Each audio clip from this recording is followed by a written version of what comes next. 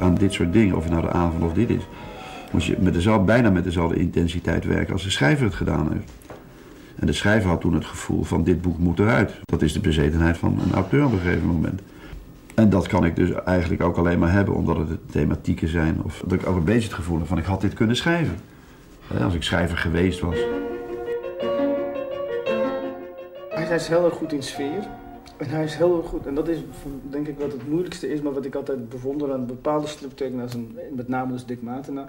Dat hij een gevoel geeft van beweging. Alsof, zoals in de avonden, met, uh, zoals die Amsterdam tekent, is alsof je zelf middenin daar zit en dat je dus beweegt. Het is, het is, het is een statische kunstvorm, strip, maar, het is, maar hij weet een gevoel van beweging. Kijk, als je nu goed oplet, dus de camera die vanaf hier, dus van beneden, een beetje kipvors perspectief. En dan zit de camera tussen die armen in. Ja, die bewegen dan hierdoor. Dus die camera die beweegt echt mee. Kijk, het statische, want hier lijkt hij stil te staan. En dat, dat compenseert hij dan met die meeuwen die dan allemaal die beweging moeten suggereren. Ik denk waar Dick mee bezig is, is hij voelt dat hij oud aan het worden is. En hij is denk ik iets van zijn jeugd probeert hij weer terug te pakken. Zo, uh, niet alleen in, uh, visueel, dus door de, die tijd te tekenen, maar ook om die, die vreugde en die vervoering van toen hij dat boek voor het eerst las, om dat weer terug te pakken. Het, is, het heeft iets denk ik van nostalgie. Ik was nogal een hevige puber, langdurig. En dan hou je wel van dat soort, tenminste, ik hou dan heel veel van dat soort uh, uitzichtloze toestanden. Want dat vond ik toen ook de hele wereld. en Wolkers verwoorden dat met kort Amerikaans vertellen. Dus het was weer zo'n boek, net als de avonden, waar voor mij dat altijd bij me is blijven hangen. Als het niet in zijn totaliteit is, dan is het door bepaalde fragmenten erin of elementen die, die je bijblijven. Plus dat ik dus Wolkers, eh, ja, een van de allergrootste schrijvers vind die Nederland ooit gehad heeft hoor.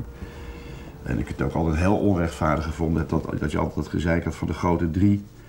En Wolkers altijd buiten gelaten werd. Dat vind ik ook altijd zo'n onzin. Grote drie klinkt lekker, grote vier klinkt kennelijk minder.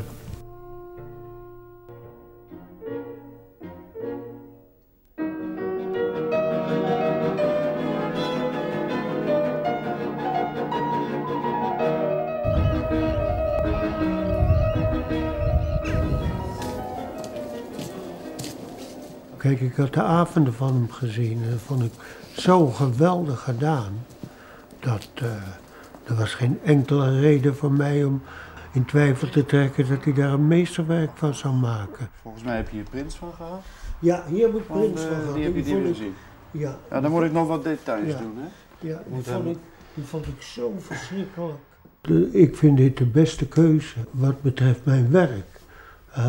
Want ik heb natuurlijk meer boeken die je zou waar je een strip van zou kunnen maken. Die ik ook allemaal maar, gelezen Maar dit is avontuurlijk. Uh, de seksualiteit speelt een grote rol. De angst, hè, de bezettingstijd. Hè. De hele atmosfeer is natuurlijk heel complex en aan de gebeurtenissen gebonden. Ja, eh, het, is, het klinkt vervelend om te zeggen, maar vooral het, het erotische element daarin. Dat kan bij mij als een vuistslag aan. Ik bedoel, ik had literatuur al gelezen, maar dit was de eerste keer dat ik een boek las dat voor mij literatuur was. Want dat ruikje, dat snuifje. Maar dat ook avontuur in zich had, op de een of andere manier, tempo. En een directe, knallende beschrijving, keihard toen, voor mij, van, van, van erotiek. En hier moet ik nog van dat glas in loon doen. Ja, dit, dit, zo zag ik eruit als ik een meisje aan het uh, nee, dat komt nog. overreden was. Nee, maar oh, als je... ik zeg, uh, nee, ik vraag hier aan, ja. is je schaam maar net zo mooi goudgeel als je... Nee. Ik zeg, je, lokken? Nee, je ruikt lekker oh. naar de zomer en al die rotzooi. Oh ja, zeg ik dat. nou goed, die had je dus gezien. Dit, nou, dit lijkt erg. Dit ja, lijkt sprekend. Het, het, wisselt wel eens. Ja, nee, maar dat is heel goed. Maar die foto had ik willen gebruiken, maar dat, dat is niet helemaal... Ik wil dat de, dat de mensen ergens nog... Oh ja, dat is Jan Wolkers. Dus ik heb het, ja, het haar wat hij op een foto heeft uit zijn, toen hij 21. Dus toen er meer krul in begon te zitten. Dit, ja, dit is mooi gedaan, ja. Nou, dat, dat, ja. dat moet Je moet wel uh, duidelijk laten merken dat ik niet besneden ben, hè. Ja, dat laat ik toch wel merken. Komt er nog. Maak je maar geen zorgen. Nee. Je, dacht, je was bang dat ik je was bang. Anders hadden ze daar wat op te pakken, zeg. Anders hadden ze daar wat op te pakken. Nee, het gaat, gaat, heel- het gaat fantastisch. Het publiek, als ze je werk niet begrijpen, of het akelig of eng vinden wat je doet, of vreemd, dat kweekt, en dat klinkt raar, dat kweekt haat. Zoals ze van hun idolen kunnen houden, zo kunnen ze ook mensen haten die dingen doen die hun niet bevalt. Ja, ik heb altijd heel controversieel werk gemaakt gedurende een bepaalde periode. Ik had dat niet eens direct in de gaten, maar ik heb dat, ik heb dat kennelijk gemaakt. Nee, dat is, dat is letterlijk haat. En dat heb ik echt gezien en gemerkt ook. Er zijn mensen die willen je gewoon op je donder slaan als ze de kans krijgen. Die komen, die, dat stralen ze ook echt uit op zo'n stripbeurs of zo. Come on. Here we go again, motherfucker. Yeah, yeah, yeah. Come on down and see the idiot right here. Ja, die zat daar achter. Nou ja. Martin, out of my face. dat u daar de moeite voor doet. Ja, natuurlijk. Voor zo'n Ja, jezus. Hij is eigenwijs. Hij heeft een eigen, een eigen persoonlijkheid, een koppigheid. Hij wil het zo hebben en zo blijft het.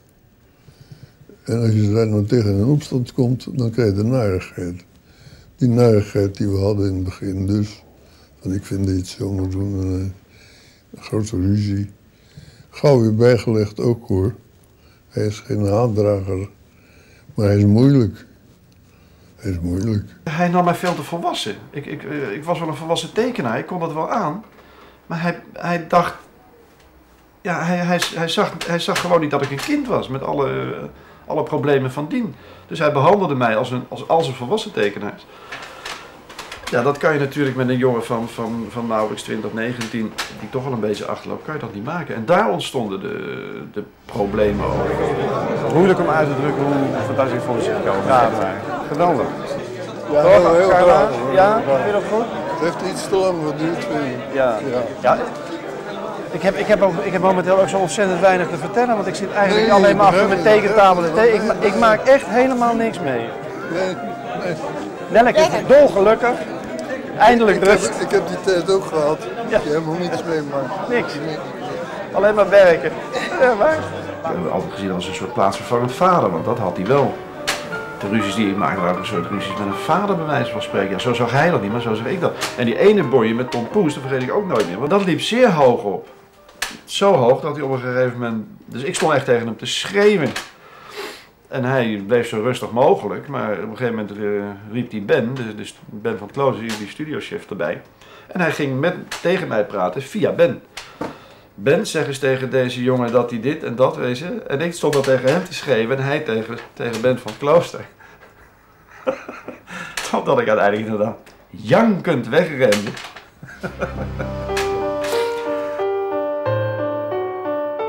De toner kan een gruwelijk mens zijn op bepaalde momenten. Bijna onmenselijk, genadeloos. Op een manier zoals ik dat nooit zou kunnen zijn.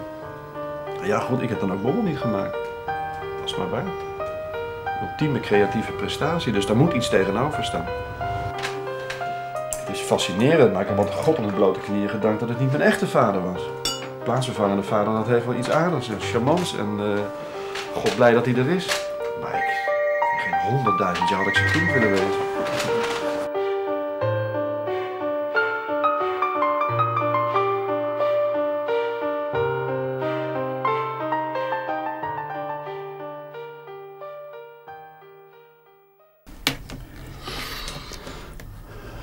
Toen ik 14, ik geloof 14 was ik. Toen kreeg ik een. wel, ik was een aardig ventje hoor, met een hoop vriendjes, een hoop vriendinnetjes.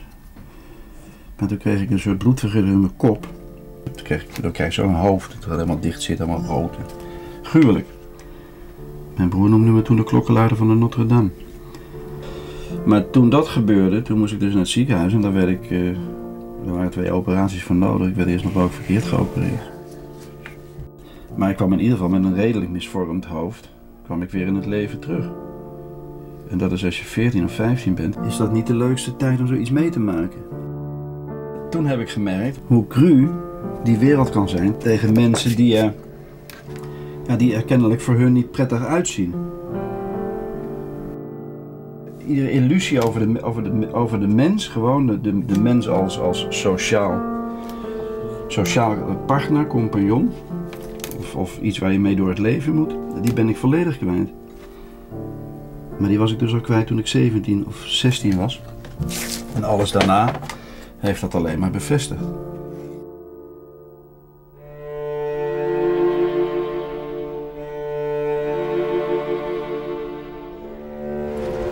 Dick, hoe weet jij hoe laat het morgen was? Morgen uh, van 3 tot 4, Kijk jij? Ja, ik kijk uit. Boodschap doen. Ja. Dag, doei. Morgen.